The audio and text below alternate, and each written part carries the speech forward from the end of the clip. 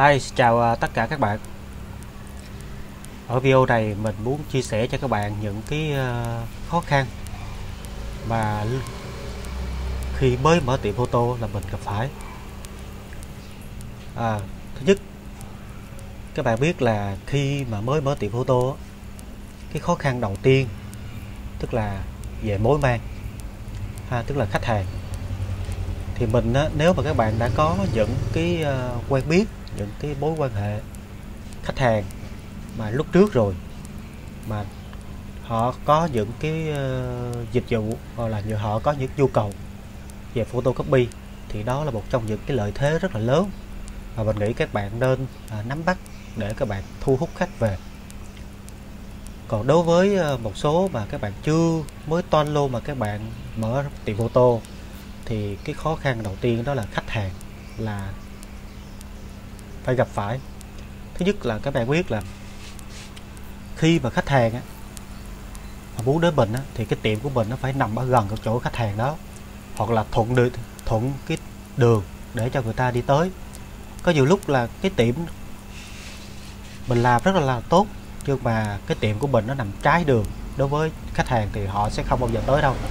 và họ sẽ tới những cái nơi chỗ nào và thuận tiện cho họ và gần cho họ và đặc biệt là một số cái khách hàng là cơ quan nhà nước thì không. Họ rất là là ngại để đi xa à, làm lắm. Cho đó là họ lựa chọn những cái tiệm nào mà gần dưới ờ, cơ quan của họ thì họ mới làm. Do đó là những cái video trước mình có nói về cái ờ, mặt bằng mở tiệm photo là một trong những yếu tố quyết định để cho các bạn có nên mở hay không mở là khi các bạn nên chọn cái mặt bằng sao cho nó phù hợp và cái mặt bằng, nếu mà cái mặt bằng mà các bạn mướn ở mức độ giá cao quá, thì các bạn sẽ không thành công và sẽ sớm thất bại. Tại vì cái mặt bằng nó quyết định hầu như là 50 phần trăm cái cái công việc của mình. Mình, thứ nhất là khi mình mướn mặt bằng cao thì mình phải nuôi cái mặt bằng. Và thứ hai nữa là cái mặt bằng thì nó bấp bênh lắm. Đôi khi năm này thì cái giá này nhưng mà sang năm, khi mà mình thấy, họ thấy mình làm được một chút đỉnh rồi thì bắt đầu họ sẽ tìm cách uh, nâng giá lên thì chúng ta rất là khó khăn. Nếu cái bà mặt bằng của các bạn là mặt bằng ở mặt bằng nhà thì là quá tuyệt vời khi các bạn mở một cái tiệm tô thì lúc đó các bạn sẽ không có lo chuyện mặt bằng nữa chúng ta sẽ chỉ lo chuyện đầu tư vào máy móc và đi tìm khách hàng thôi. À, thì đó là cái khách hàng. À, nếu mà cái uh, khách hàng mà cái địa điểm của mình nó không thuận lợi thì khách hàng nó cũng sẽ không có tới và khi mà các bạn mới mở tiệm photo mình nghĩ các bạn nên chuẩn bị cho mình là cái card visit. Ờ, để khi mà khi khách hàng tới thì mình sẽ đưa cho họ card visit. Thì trên cái card visit có nội dung thông tin địa chỉ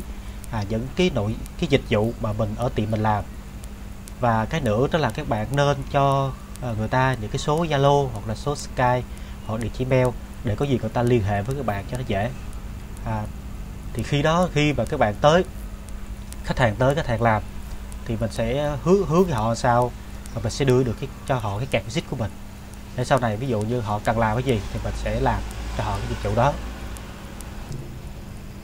Nếu mà cái nếu mà khách hàng mà khi mà các bạn không chăm sóc tốt hoặc là họ mình không có sự tương tác với họ thì họ ít khi họ nhớ mình lắm. Thì do đó là trong quá trình mình ví dụ như mình làm và cảm thấy những cái mối đó nó đang là có những cái mối lớn thì mình sẽ uh, tìm cách mình sẽ ờ, giống như là trao đổi thông tin với họ mình sẽ trò chuyện với họ nhiều hơn. Để nhiều lúc là người ta cảm thấy mình có những cái ờ, vấn đề hoặc là có có những cái ờ, sự mà vui vẻ hay là gì trong quá trình làm thì họ sẽ mến mình và họ sẽ tới với mình nhiều hơn. Đôi khi các bạn sẽ thấy là à, các bạn mới mở ra thì khách nào các các bạn cũng nhận. Đôi khi á nhiều lúc cái mình có cảm giác là giống như là cái gì mình cũng giống như về xà cào á giống như giả cào luôn. Thì khi có những cái mối mà mình sẽ chấp nhận làm ở những cái giá mà nó nó vừa đủ nó vừa đủ trả tiền nhân công thôi để mình họ giữ cái chân của họ.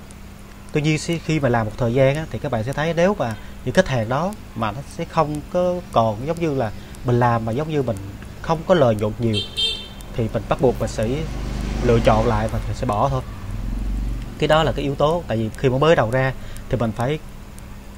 chọn hết để mình làm mình giữ mối và mình sẽ kiếm mối thêm à, mình giữ mối nhưng mà làm một lần hai lần và lần thứ ba là nếu mà cái mối đó nó sẽ không có giống như là làm mà cái lợi nhuận nó không đủ để trả nhân công thì mình sẽ bắt buộc các bạn sẽ phải buông.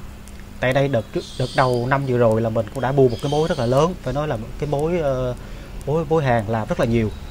À, tuy nhiên là hai đợt đầu mình làm là giống như mình để giữ chân giữ mối khách hàng. Tuy nhiên qua đợt thứ ba mình muốn nâng cái giá lên một chút để mình bắt đầu kiếm lời thì họ lại ờ, này nọ. Thì giống như là họ không có muốn đăng giá lên và bắt buộc mình phải bỏ. Cái này là phải chấp nhận phải bỏ chứ còn nếu mà mình làm nữa thứ nhất là mình làm số lượng nhiều mà không lời chạy nhiều máy móc hư hao nhiều thì mình lúc đó mình sẽ lỗ chứ còn mình không có lời. À, thà mình xử lý sao cho nó khéo. À, nếu mà họ chấp nhận họ làm thì lúc đó là mình ờ, chấp nhận cái giá của mình đưa ra thì mình mới làm. Còn nếu không thì tốt nhất các bạn nên bỏ những cái khách hàng mà à, khi mà mình làm mình không có lợi dụng để đủ trả tiền nhân công. À cái đó là những cái khó khăn về cái khách hàng và bối bối ban cái khó khăn thứ hai khi các bạn gặp phải đó là trong quá trình chạy thì các bạn là mới toanh các bạn ờ, nếu mà các bạn mới mà các bạn hồi đó giờ chưa có qua cái xử lý máy hay là gì đó thì các bạn gặp rất là nhiều khó khăn trong vấn đề là xử lý máy. À, rất là khó. Ví dụ trong quá trình đang chạy máy nhiều lúc máy báo lỗi nhiều lúc là nếu các bạn không biết à, những cái gì đó ví dụ như là máy hết cuộn dầu. Và nếu các bạn không biết thay cuộn dầu là các bạn phải chờ thợ tới này kia nọ. À, thì các bạn phải nói là rất là khó khăn rất là khó khăn. Nên là khi mà các bạn mở tiệm photo thì các bạn nên bày mò và tìm hiểu về những cái cách thay những cái linh kiện vật dụng đơn giản. Thì máy photo nó chủ chiếu có hầu như là chỉ có khoảng à, ba bốn bộ phận gì đó hay hư. Thứ nhất là từ từ thì chạy lâu ngày nó hay bị đóng cục nó bị kẹt từ hoặc là mấy cái phốt từ nó bị cứng thì nó sẽ gây ra những cái hiện trạng à, như là đứng từ nó sẽ chạy ra cái tờ giấy nó vào trắng luôn. Nó không có có mực tức là từ nó không có quay thì nó không có bao giờ nó à, trùm nó bám mực được. Do đó là nó sẽ bị trắng luôn hoặc là từ nó sẽ báo lỗi 441 à, hai là bộ phận rum cái bộ phận rum thì các bạn làm sao? Các bạn phải biết à, cách thay rum thay gạt rum à, biết à, vệ sinh rum thì trong quá trình chạy thì nó, chắc chắn nó sẽ bật à, rum nó sẽ hư hao hoặc là một số cái à, nhông ở trong cái khung rum nó sẽ bị hư bị bể gì đó thì các bạn phải biết thay. Thì đây là những cái dạng thuộc về dạng cơ nên là mình nghĩ là khi các bạn làm thì các bạn nên mày bò thì mình nghĩ nó sẽ thay rất là dễ nó cũng không có gì khó. Cái thứ ba đó là uh, mấy cái nhông cái chỗ ống bực hồi. Thì nhông ống bực hồi là cái ống bực mà từ rum á cái bực thải từ rum nó đưa lên để nó lọc bực lại. Thì mình nghĩ là khi mà cái khi nó cũng cũng có những cái vấn đề mà nó hay trục chặt cái chỗ cái bộ phận à, nhông của cái ống bực hồi thì các bạn phải biết cách thay thì những cái này đơn giản. Cái thứ tư đó là beo. À, beo thì lâu ngày là beo nó dơ thì các bạn nó biết vệ sinh. À, nói chung là đối với những cái dạng cơ cái đó là thuộc về dạng cơ thì mình nghĩ các bạn khi mà các bạn làm thì các bạn nên bày bò các bạn tự chủ động để các bạn à, thay thay thế và các bạn ấy. Chứ còn nếu mà à, các bạn à, làm cái gì mà các bạn cũng chờ thợ thì thứ nhất là mình không có đáp ứng được cái công việc của mình. Ví dụ như mình đang nhận đồ của khách hàng và trong quá trình mình chạy máy móc bị hư mà mình không biết cách xử lý thì lúc đó là nó sẽ gây ra tình trạng là à, ứ tắc cái công việc của mình. Nếu mà các bạn không muốn uh, cái công việc của mình uh, bị đình trệ thì mình nghĩ là các bạn nên à, bày mò tìm hiểu thì giống như mình vậy, lúc trước mình mới ờ, làm đậu cái kẹt giấy không mà đã vã mồ hôi rồi và rất là sợ. Khi mà đụng tới máy móc thứ nhất là mình bỏ ra một số tiền lớn để mình mua cái máy móc về mình chạy. Thứ hai đó là trong quá trình chạy mà nó bị kẹt cái này chút xíu mà mình không có hiểu về máy đó lúc đó là rung lắm. Ha rất là rung rồi sau này cái ờ, đầu mới ờ, bày mày mò mình làm thì trong năm đầu mình à, có nhờ anh Hiếu hỗ trợ. Đôi khi là anh phải từ trong Sài Gòn anh chạy ra anh sửa tuy nhiên là phải trả tiền công của ảnh. Thì một ngày của ảnh ra sửa thì khoảng hết một triệu. À, tiền công là hết một triệu.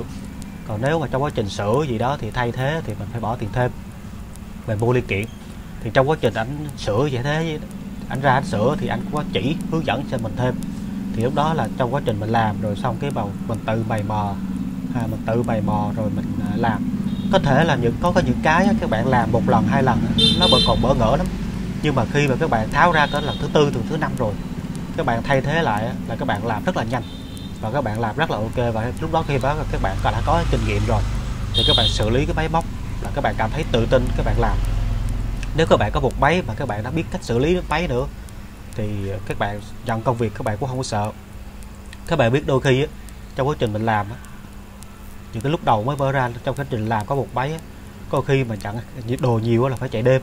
và các bạn biết là nếu mà chạy đêm á, mà máy nó trục trặc ví dụ như là máy nó đang đang chạy cái đầu nó nó bị đóng từ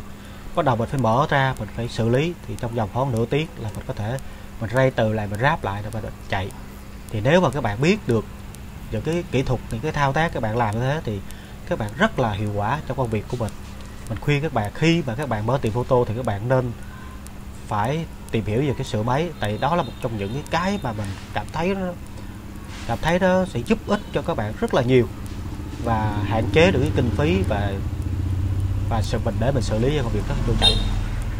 dạ, đó là những cái, cái khó khăn về à, về máy. Còn cái khó khăn nữa nếu mà các bạn mở một cái tiệm photo mà các bạn muốn cho nó phát triển tốt thì các bạn nên các bạn nên phải biết sử dụng phần mềm thiết kế và các bạn phải biết thiết kế về các visit tờ rơi à, phong thư nói chung là à, thiết kế menu à, thư mời. Mình có thể là nếu các bạn có à, sở thích về Photoshop thì các bạn học bên Photoshop bằng AI thì các bạn học AI hoặc là các bạn à, có sở trường về Corel thì các bạn sử dụng Corel. Nói chung có gì mình sử dụng cái đó. À, có một số bạn thì cũng có thể áp dụng Word để mà thiết kế được. Tuy nhiên là cái đó thì nó rất là chậm. Nên do đó là mình khuyên các bạn khi mở tiệm thì các bạn phải học phần mềm thiết kế để mình muốn phát triển. Các bạn biết là nếu mà một cái tiệm photo mà các bạn chỉ mở để một cái máy photo rồi ờ, photo tài liệu thôi thì mình nghĩ nó sẽ không phát triển tới đâu và nó cũng không có cái cái cái cái nguồn thu nhập nó cũng không có đủ để cho các bạn chi tiêu cho gia đình. Mà cái cảm nhận của mình trong những cái năm mà mình à, mở tiệm á, đến bây giờ thì mình cảm thấy là cái nguồn cái nguồn mà in ấn và cái nguồn in màu rồi đó, hoặc cái nguồn về bên thiết kế in ảo thì cái lợi nhuận thu lại rất là tốt và nó sẽ giúp cho các bạn phát triển được cái tiệm của mình nếu mà các bạn ở ở cái nếu các bạn chỉ có một cái suy nghĩ là mở tiệm photo ra chỉ có photo copy đồ thôi thì mình nghĩ tốt tốt nhất là các bạn nên kiếm trong việc khác các bạn làm chứ còn nếu mà các bạn làm như thế và thứ nhất là khi mở một cái tiệm là các bạn phải bỏ hết toàn thời gian các bạn làm ở tiệm rồi và các bạn có photo không thì chỉ yếu là photo khách lẻ chứ còn khách phố thì phô lâu lâu mới được một đợt hàng thì mà nếu các bạn không có đa dạng cái uh, dịch vụ trong cái ngành ờ, trong cái tiệm của mình thì mình nghĩ là các bạn sẽ không có đủ thu nhập để chi tiêu cho gia đình đâu. Và tốt nhất là các bạn nên đừng có mở. Và các bạn nên đi kiếm những cái việc khác phù hợp với mình à, để cho nó có đồng lương cho nó, nó ổn định. Chứ các bạn biết là khi mà mở một cái tiệm photo mà các bạn chỉ đặt một máy các bạn phô tập tập uh, chứng minh một ngàn hai ngàn phô số hộ khẩu một ngàn hai ngàn thì rất là khó. Thì ở đó mình phải đa dạng được cái ngành nghề trong cái tiệm của mình để khi mà ví dụ khách hàng tới có cần cái gì mình đều làm được hết và sẽ cái đó là giống như cái nguồn thu nhập chính cho gia đình. Và mình uh, có thể thu nhập ổn định hơn. Chứ còn photo không thì mình nghĩ là không có đâu ở đâu hết. Cái độ chi tiêu ra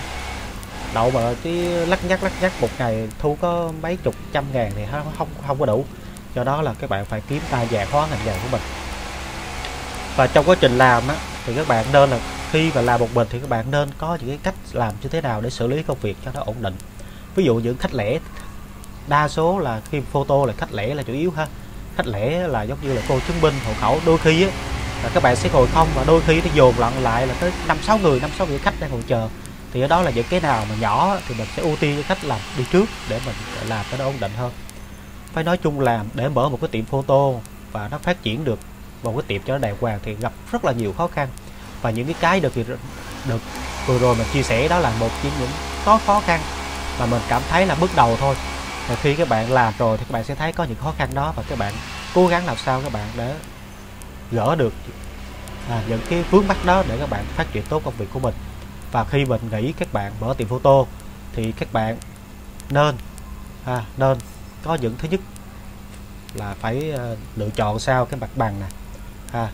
và các bạn suy nghĩ coi thử là có nên bỏ hay không. Nếu mà các bạn mặt bằng mướn mặt bằng không thuận lợi mặt bằng ở giá trị nó quá cao thì tốt nhất các bạn đừng có mở. Cái thứ hai nếu mà các bạn và cái kỹ thuật photo của các bạn chưa chưa nắm vững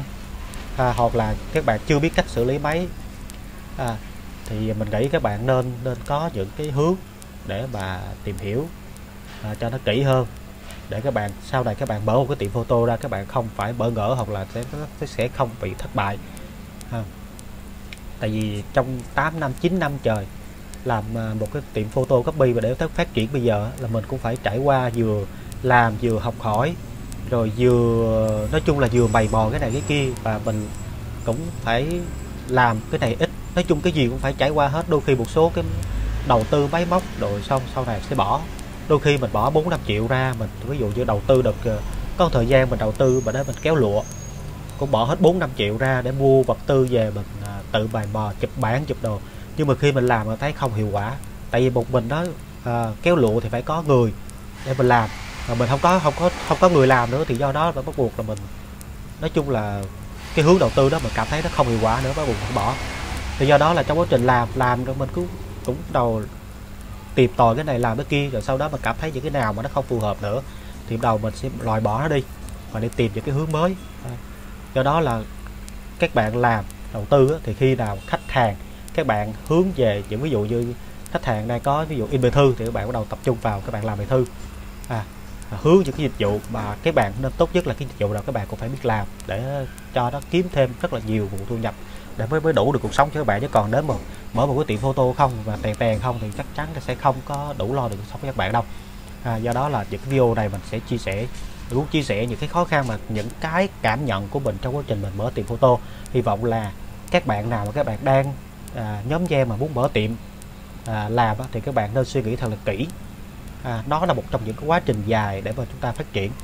À, nếu mà các bạn yêu thích thật sự là yêu thích muốn các bạn muốn mở ra một cái tiệm photo để sống chết với cái nghề này luôn thì các bạn à, nên tìm hiểu kỹ và sau đó các bạn coi khả năng của bạn tới đâu và các bạn sẽ định hướng cho mình nó tốt hơn. Tại vì à, à, đôi khi á, các bạn sẽ thấy là những cái tiệm đó họ làm rất là đắt khách thu nhập à, một tháng cũng trên mười mấy triệu. À, trừ chi phí. Tuy nhiên là các bạn nên suy nghĩ lại là khi mình mình mở ra như vậy thì mình có làm được giống họ hay không? Cái điều quan trọng không phải là thu nhập mà cái điều quan trọng là coi thử là mình có làm được giống họ hay không và mình làm được à, những cái dịch vụ nào để lôi khách hàng về. Cái đó mới là điều quan trọng cho các bạn. Hy vọng qua video này các bạn à, mới sẽ có hình dung thật là kỹ nha các bạn nha để các bạn có thể có nên là mở hay không mở tiệm photo và những cái khó khăn mà mình cảm nhận trong quá trình mình làm đó mình muốn chia sẻ nó cho các bạn để các bạn có một cái ờ, định hướng đúng cho công việc của mình. Nếu các bạn cảm thấy video hay thì các bạn hãy uh, chia sẻ để mọi người cùng theo dõi nha nếu các bạn nào mới ghé qua kênh Bado Optical thì các bạn hãy uh, đăng ký kênh và nhấn vào biểu tượng quả chuông để khi mình chia sẻ những cái nội dung mới về ngành nghề in ấn thì các bạn là người đầu tiên theo dõi. À, bây giờ xin chào và hẹn gặp lại tất cả các bạn ở video sau. Chúc các bạn có một ngày làm việc thật là hiệu quả. Bye bye các bạn.